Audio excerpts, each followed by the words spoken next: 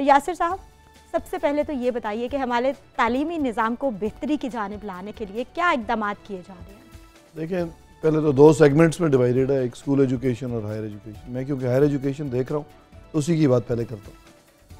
جو بنیادی پرابلم ہے ہمارے ہائر ایجوکیشن کا کہ جو کوالٹی آف گریجویٹس ہم پروڈیوس کر رہے ہیں، وہ ایٹ پار نہیں ہے انٹرنیشنل سٹینڈرڈس کے۔ اور جب وہ گریجویٹ کر جاتے ہیں، تو ان کو ڈگری جو ہے کاغذ کا ٹکڑا ہی ہوتا ہے میجورٹی کے پاس۔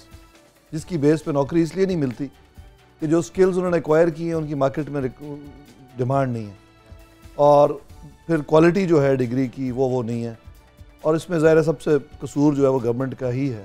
جو نگلیکٹ گزشتہ ستر سال سے ہم نے کیا ہے اسپیشلی ایجوکیشن کو شروع سے ہی، لیکن ہائر ایجوکیشن کو اسپیشلی اور اس کے برعکس اگر آپ اپنے ہمسایہ ملک کی طرف دیکھیں، تو انڈیا نے سکسٹیز میں نہرو نے آئی آئی ٹیز شروع کی تھی، جو کہ ایم آئی ٹی کے برابر کی یونیورسٹیز ہیں اور وہاں کے گریجویٹس جو ہیں وہ امریکن گریجویٹس کے سے بھی بہتر ان کی جو کوالٹی ہے۔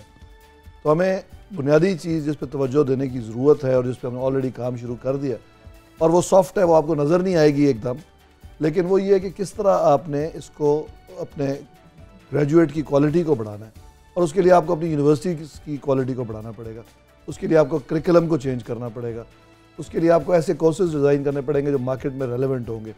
لوگ جو دو سال کی ڈگریز ایسی لے لیتے ہیں اور بی اے کا سرٹیفکیٹ ہو یا ڈگری پکڑی ہوتی ہے اور اس میں ان کو جاب نہیں ملتی۔ اس کی وجہ یہ ہے کہ جو اسکلز انہوں نے ایکوائر کی ہیں، ان کی ریکوائرمنٹ نہیں ہے مارکیٹ میں۔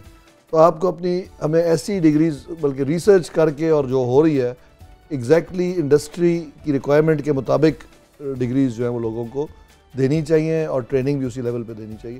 اور یہ کوئی ایزی آف کورس کام نہیں ہے، اتنی بڑی آبادی ہے۔ پنجاب کسی بھی دنیا کے آپ ملکوں کی فہرست میں آپ کہہ لیں، اس کو آنا چاہیے۔